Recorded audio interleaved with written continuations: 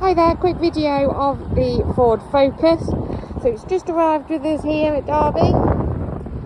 Uh, there is some work to be done. This front alloy just needs to be refurbished. You probably just see a little bit of damage just there. But in terms of the bodywork, bodywork does look very good on the vehicle.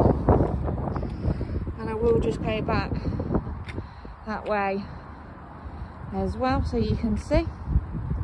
Vehicle does have two keys, obviously does need a good old wash. Uh, it does have two keys and has just been serviced, so it doesn't need servicing for another two years or 18,000 miles. Uh, other than that, the vehicle I'd say overall in very good condition.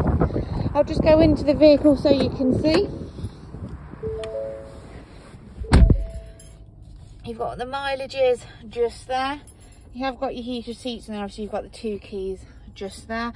With the navigation screen and obviously if I pop her into reverse you'll be able to see the sensors just there